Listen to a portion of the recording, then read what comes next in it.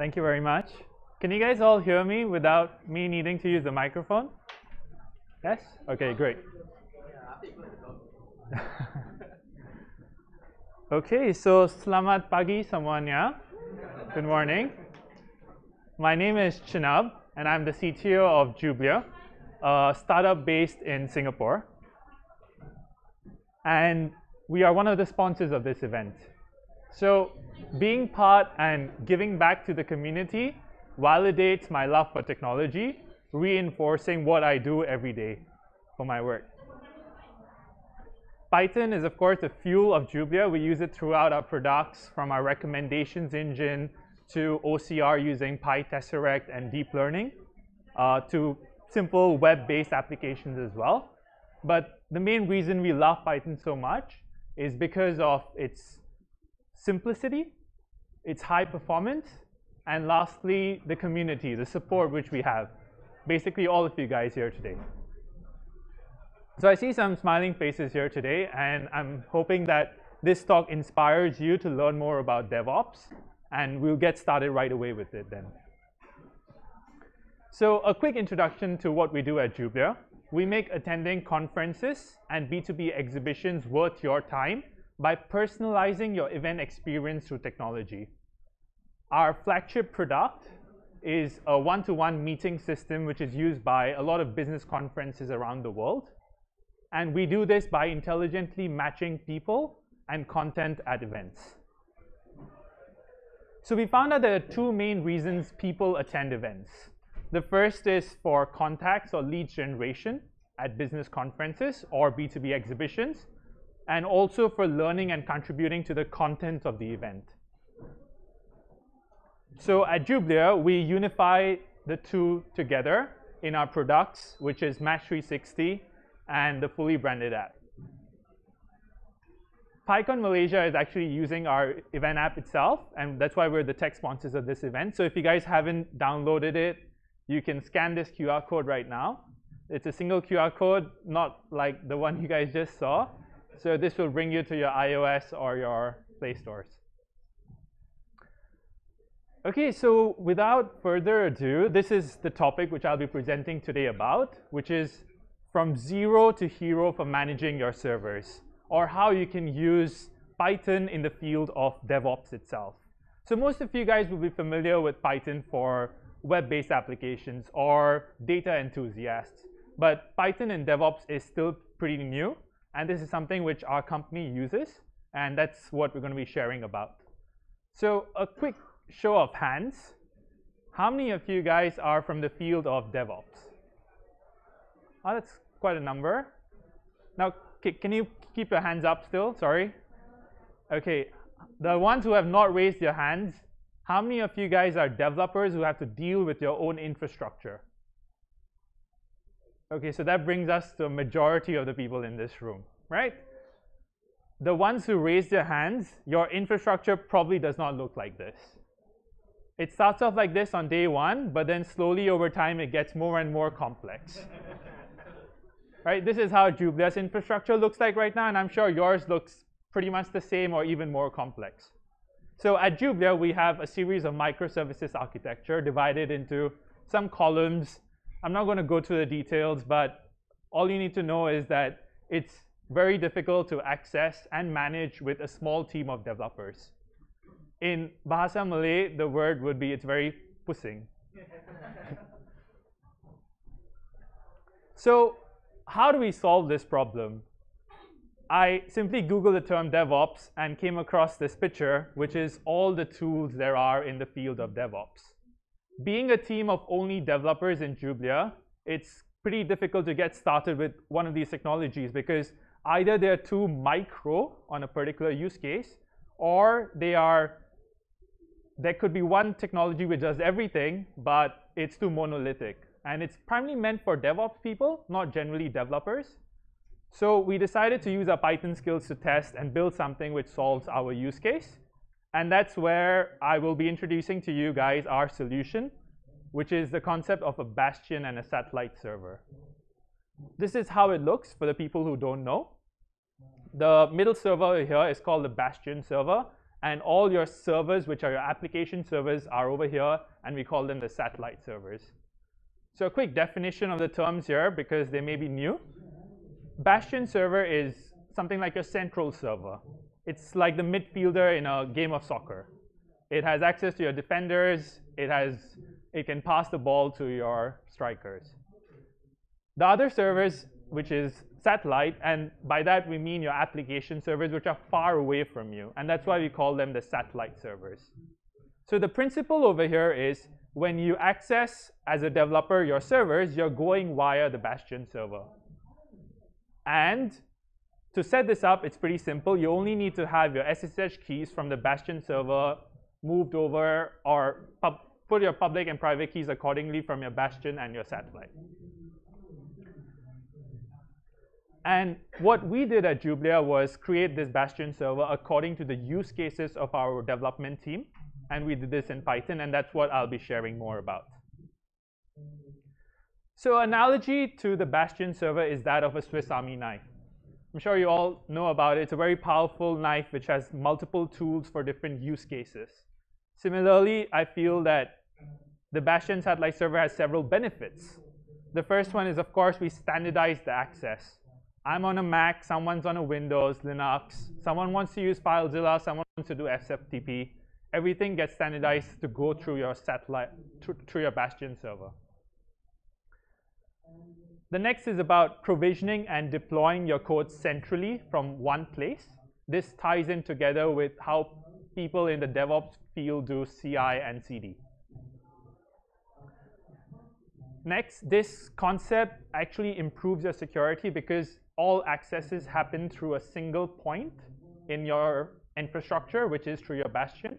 And you can maximize your security's focus only on the bastion itself and also between the connection between your bastion and your satellite servers.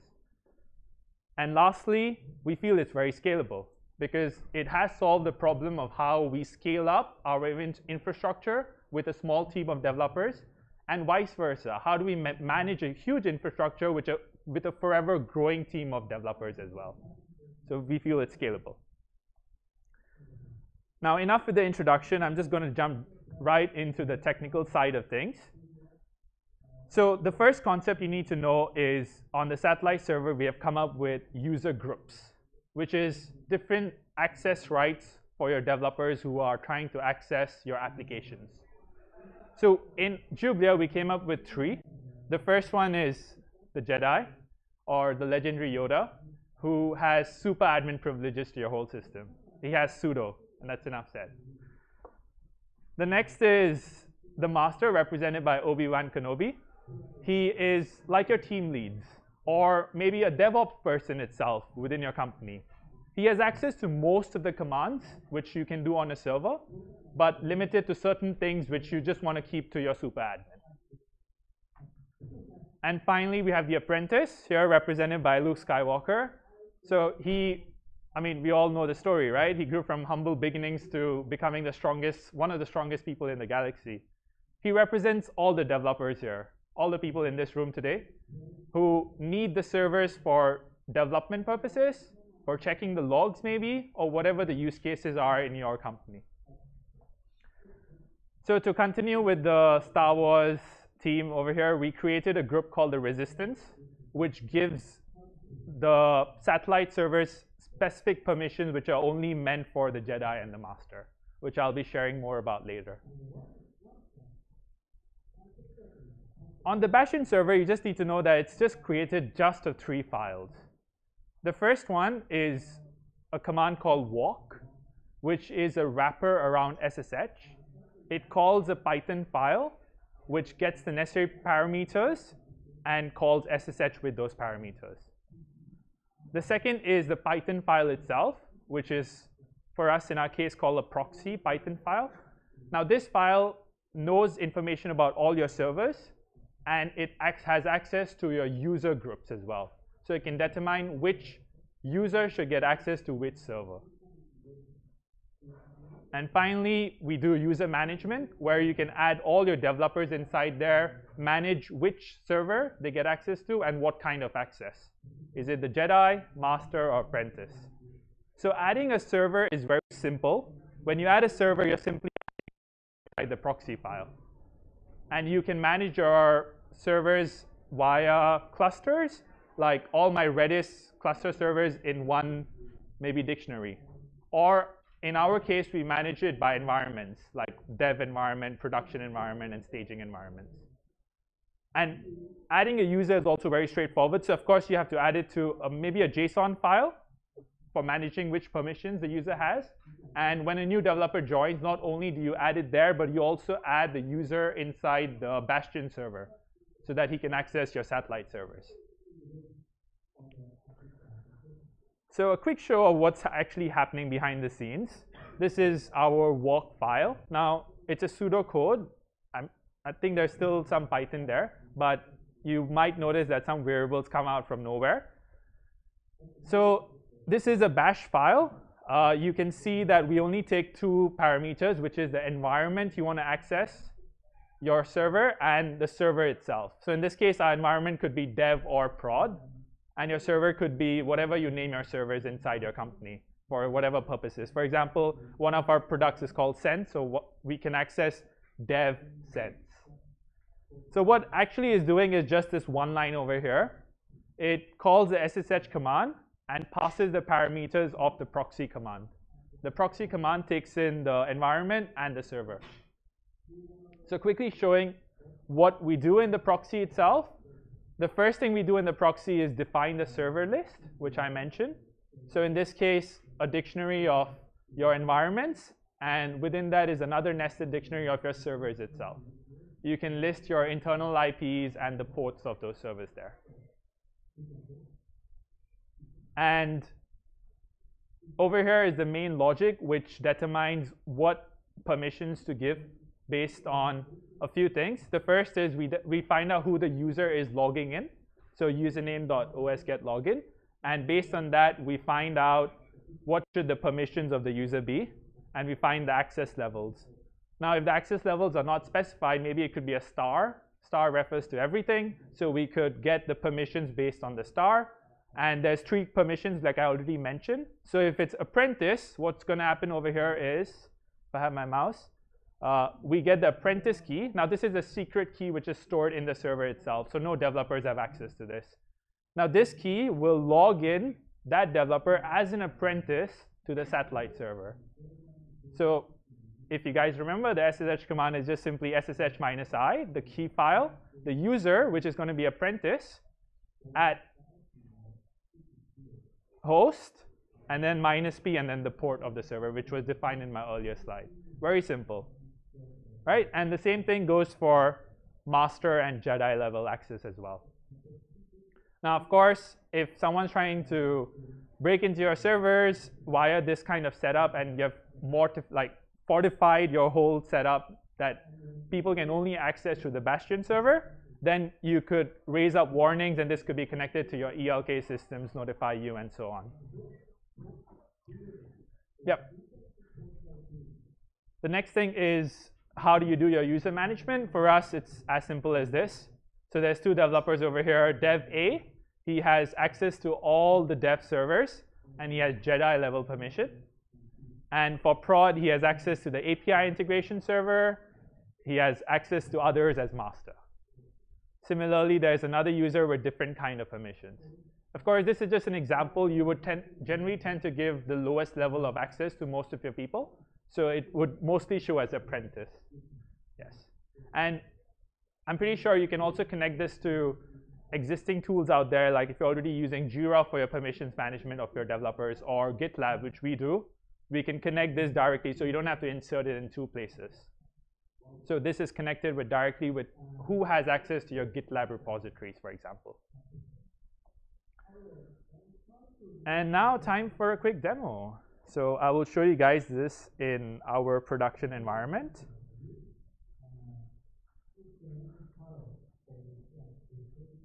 I think it'll be easier if I mirror.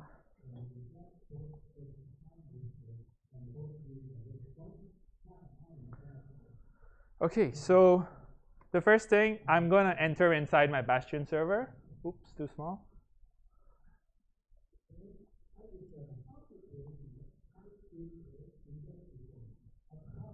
Turn hiding on. Can everyone take a look from the back? Okay. So I've entered my Bastion server. It's a simple any any kind of server. And over here are the files which I mentioned. So there is this is better. So we have the walk file, we have the user.json, and we have the proxy command file over here. So these are the three files we mentioned. Now there's of course other files as well which are dependent on our use case. And yeah, we can go, go through that if you guys want to later on. So what's important to note over here is that my user is Ubuntu. Everyone logs in with their own user. And Ubuntu itself would have some sort of permissions inside the user management file. So over here, I have Jedi access to everything. Uh, I don't think it's very clear, but yeah, there's Jedi access, but other developers have different kinds of access depending on what are their requirements. So you can see here that some people have different levels of access to different kinds of service. Now, when I want to access this, it is as simple as I specify walk, and we have limited sudo access to walk only. So I specify my environment, which is dev, and I specify one of my servers, which is sense. And I'm inside my server. Now, of course, I don't expect to be doing this every day because I have to always go into one of my servers, the central server, and then write this command in. Too many steps. So another approach is uh, we can do it by creating aliases. So this is how we do it. So I'm inside my servers. What is actually happening is, uh, if you see JSSH over here, it is SSHing to my central. I'm passing the parameters as sudo walk and then the argument, whatever I pass it after that. Similarly, another thing to note over here is we have the concept of mounting servers locally. So long, long back, we were still using FileZilla, maybe three, four years back.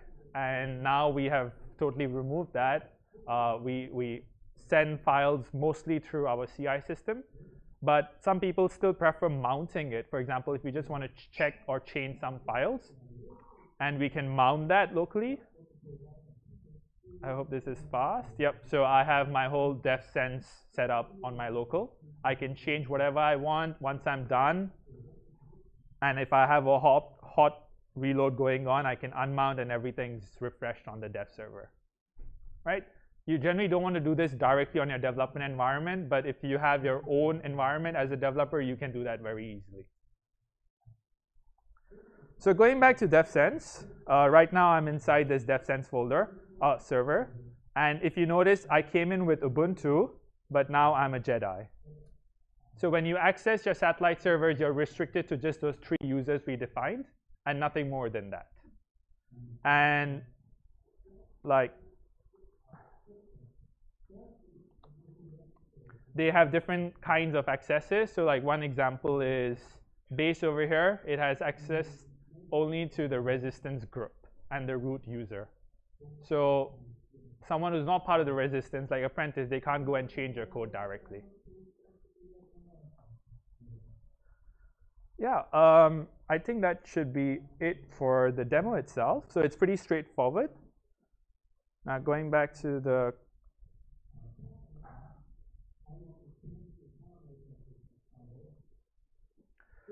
What else can we accomplish with this structure which we have just shown you? Now this is some of the more exciting things. Uh, the first one is server configuration.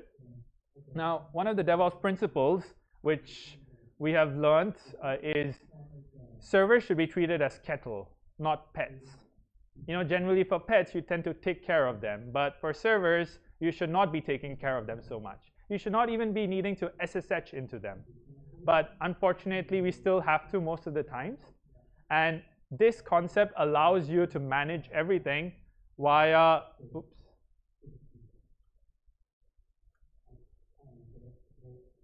So this concept allows you to manage everything via your central server. You don't have to necessarily go inside your satellite servers because you can send commands via your bastion to your satellite. You can get back the output, and you can manage everything from one place itself.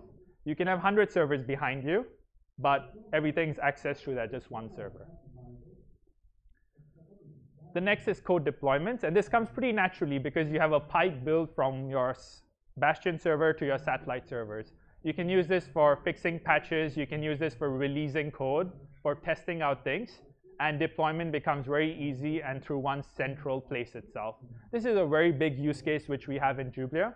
So now everyone who wants to go and manage their code, they do it all through the Bastion server, just through one file itself. You can even restrict access. So if some one person has blocked your dev usage, meaning someone's using it right now, you can find out that because we're logging every usage. And if someone else tries to do it, it disallows you. And finally, the concept of a dev environment. So I hope some of you guys are already using like container services out there. This is something for those who do not. So if you have your own server, which is given to you by your company or your personal server, you can set up this Bastion server inside that server itself, and you can manage multiple repositories within that server, sort of emulating what a container would do.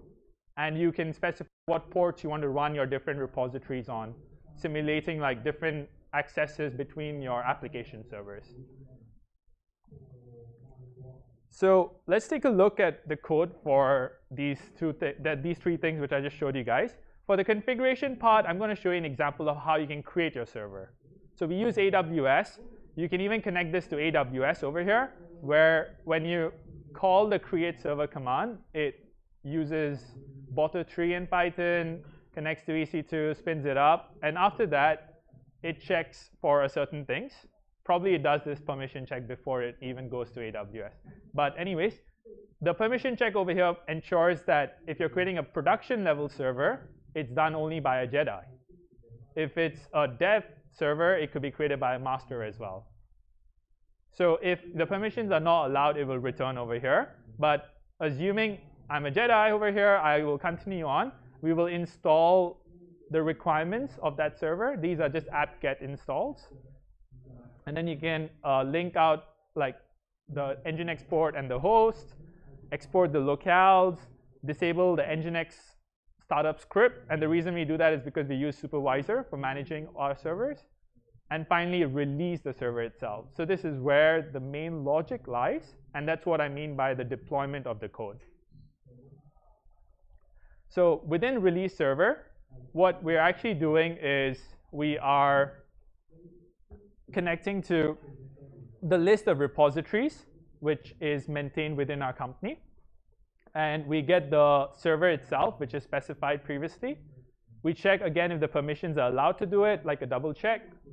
And then we have, no, I mean, these, these are some of our specific use cases to our company to just make releasing much more easier. So if you specify dev, it's actually releasing the develop branch. Prod releases the master branch. Uh, you get your host string. And now, for example, for your dev environment, if you're maintaining your configs within your repository for dev environment, it removes off the prod configs. You can have server-specific logic. So this is interesting, where, for example, three of our servers don't use Celery. So we can go and remove the Celery if it is one of them. Now, this can be a lot smarter as well because it can be reading from your requirements list, your pip requirements list, and you don't have to write these such if cases.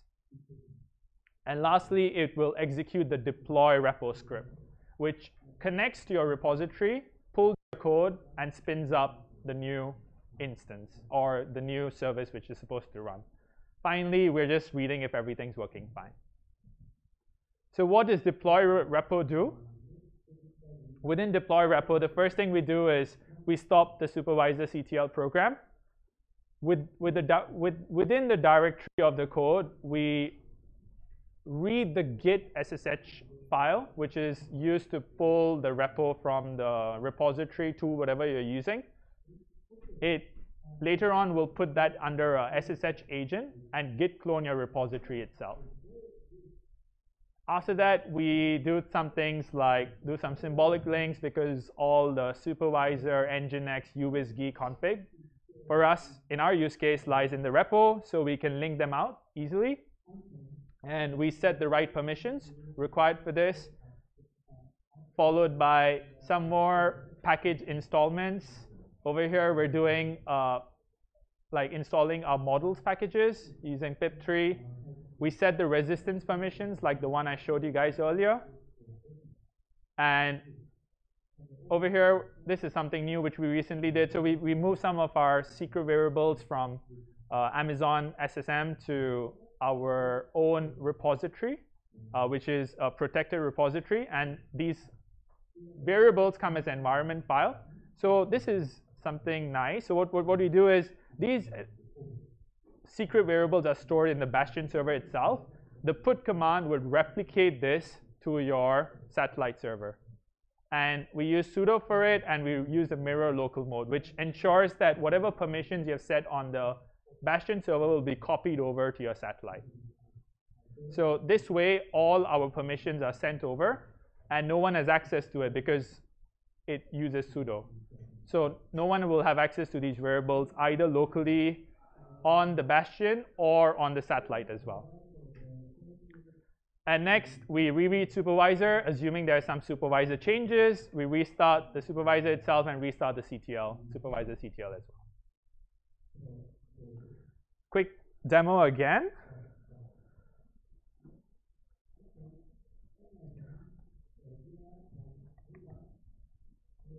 So when we release, we release, so let me just show you guys from the start. I'm SSHing to central, which is my Bastion server, and I will issue the release command for one of our servers, again, sense dev.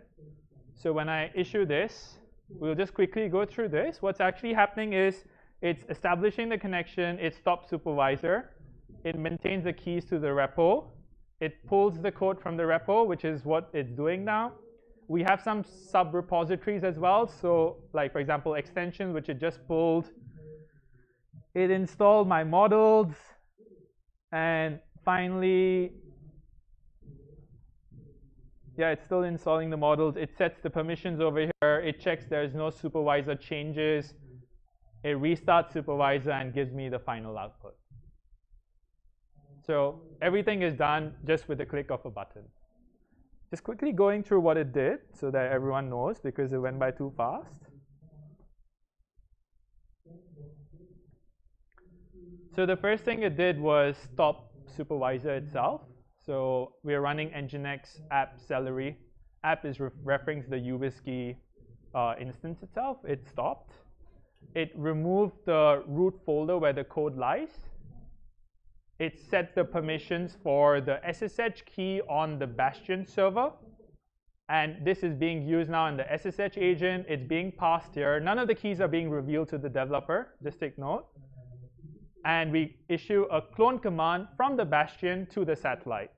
And we specify where it should clone it because if you remember, I had a width and then the path of the folder where it should clone it in the satellite. It does the cloning. And then after that,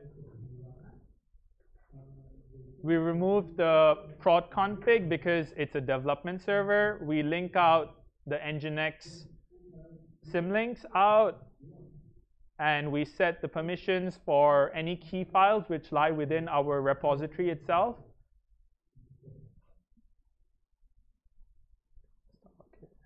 We install the models. And finally, after installing the models, we are done over here. We set the permissions for the resistance group, which ensures that no one can be tampering with your satellite. And we reread supervisor. It says there is no config updates to process. It restarts supervisor, it restarts everything, and it ensures that everything's running. So just a quick check if everything is actually running.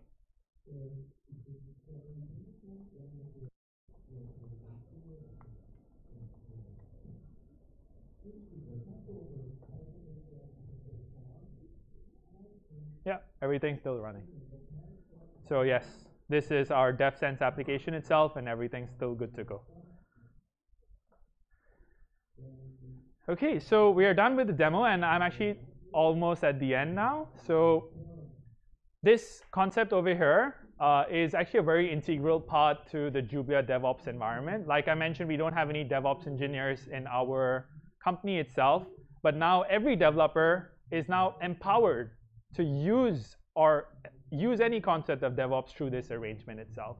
They have the flexibility to go modify the Python scripts based on their use cases and spin up their own Bastion servers so that they can access their own development environment. Some of you might be asking, why don't we just use containers for it? Because sometimes if you're running like multiple containers within your laptop itself, everything gets super slow.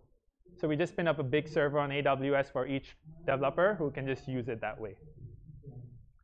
And the best part is it's all in the background. So it's all happening without anyone taking note of it. So we are ensuring that it's scalable and it's secure as well.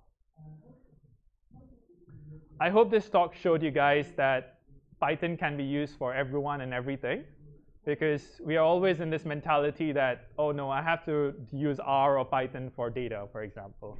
But this shows us that DevOps actually has a big scope as well for Python we, we do use it for a lot of applications. I mean, practically everything on Jublia is built with Python, but this is just one very small use case of how DevOps comes in handy with Python. Some of the more exciting things over in Jublia, which we use Python for, is uh, for a TensorFlow-based model, where we build an interactive floor plan for an event, and we use uh, OCR libraries from Python for identifying where should the user be, where should a real attendee be walking, and detecting the booth information from big exhibition floor plans. The other thing is we use it for recommendation systems as well, like something what the keynote speaker described, how we use content-based filtering and collaborative-based filtering for recommendations of content and people at events. So we love Python, but I hope you guys are inspired to use it for DevOps as well. Next is the concept of backup and disaster recovery. So as a company, we work with a lot of enterprises, and they always come to us like, are you guys secure? If something happens to you, can you bring it up fast enough? I mean, we all know that AWS Tokyo was down yesterday, right? For it was level one critical vulnerability.